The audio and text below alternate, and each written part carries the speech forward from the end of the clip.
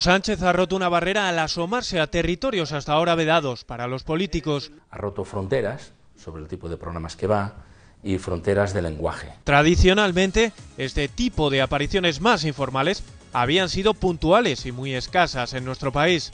Yo creo que no es lo mismo la entrevista de, de la noche en el hormiguero que lo que pasó por la tarde en Sálvame. ¿no? Lo de Sálvame probablemente es una cosa bastante eh, espontánea. Ahora el PSOE ha diseñado una campaña mediática global para colocar a Pedro Sánchez en espacios de entretenimiento y crónica social. Los políticos que buscan, ellos ya saben que los informativos acostumbran a salir bastante, pero eso lo mira todo el mundo, no.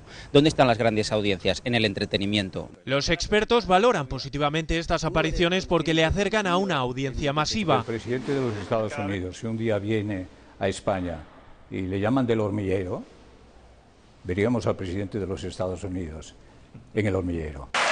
En Estados Unidos, en cambio, es habitual que los líderes aparezcan en todo tipo de programas de entretenimiento. Does any of that bother you when you see the jokes or the skits? You know, I hate to tell you, um, I don't want to hurt your feelings, but I was asleep. Really? Oh. Muchos líderes mundiales usan la televisión para hacer llegar sus mensajes, aunque el maestro, sin duda, es Berlusconi. Deve avere un po' di vergogna Lei di non come si è sa tratta- comportato. lei non sa trattare con i giornalisti. El PSOE asegura que seguirá con su estrategia. El único límite, dicen, es que nunca será tertuliano.